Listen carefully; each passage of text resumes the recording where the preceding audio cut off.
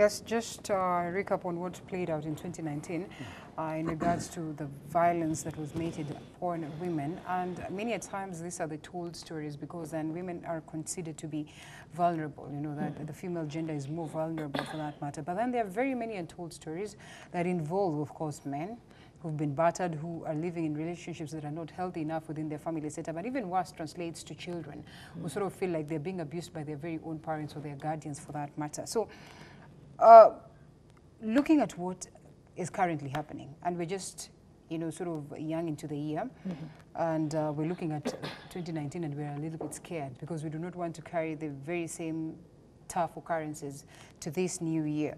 So when you look at what is happening in the Kenyan society, I mean, how then can we rate, or where can we rate uh, ourselves in terms of, you know, that healthy family relationship setup?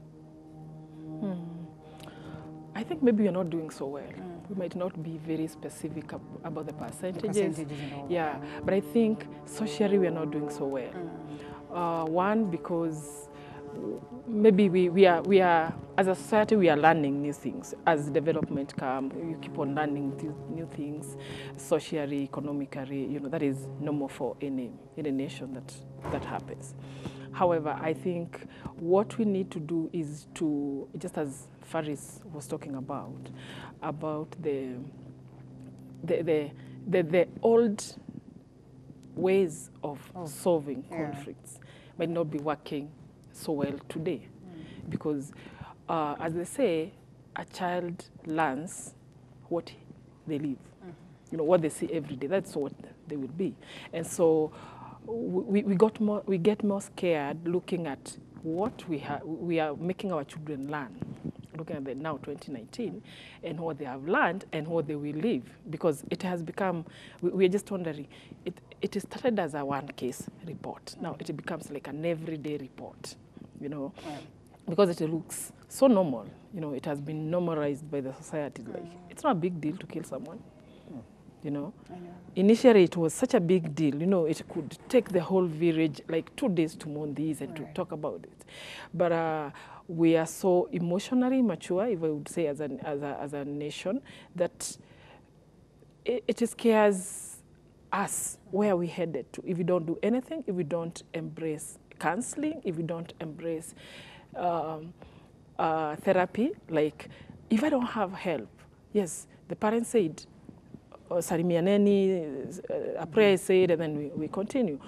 What is what are the underlying issues? Because more we deal with what is on top, On top, yeah. wanakosana, and so we talk, and that is that, that is done. But there are so many maybe underlying issues, given of because now when we compare the older times, the mother was home 24/7, take care of the kids and take care of anything that has happened. So emotionally, socially, they were well. They, they have somewhere to run and talk about this. Now mothers are working, so we can't say they won't work uh, because this is the need as per today. But what do we do? about now the connection of this child and the need, the maternal need that she has or he has. So where will they take them? Are we uh, taking time to listen to them? Are we also taking time as a couple? Because as we say, we are individuals even in the relationships, as Faris was saying. Am I, is my husband helping me to be who I'm meant to be? Am I helping him to be? Because most of the times, now it becomes like when you're a couple, all our deals are the same, you know? But my vision is different, his vision is different. Yes, we are a family at a given point where we need to sit and maybe see where is our family going, but uh, where am I going as an individual? And that limitation of growth is what may be bringing a lot of crisis. Someone feels, maybe a man feels insecure, my, my wife is doing well, and maybe I'm not doing, I don't have a job. And instead of thinking, yes, I don't have a job, what else can I do?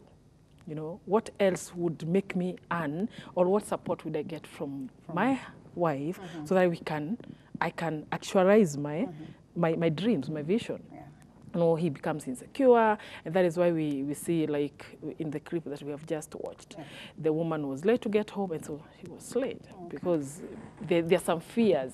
There's also an ego crisis, like the older times said a man should be earning more than a woman. Than a woman, yeah. But uh, are we are we are we uh, helping them to learn how to coexist even if you're not earning more mm. you know or are we telling our girls asikusumbue you know because as a society we are we are letting them see if i am not if, if as a girl something has come up you just come home so I, I remember I was in a in a training somewhere, and one of the girls said, "But the society thinks it's normal for you to to be single and to have your children." mm -hmm. But uh, so I we were discussing about the children, the future, and the kids, and how will that happen? Mm-hmm. Because this child growing without a father, that is a crisis waiting Right. because the, the, the normal needs of any human being is maternal and paternal mm-hmm. interactions. Interaction. But now it's not there. In It's this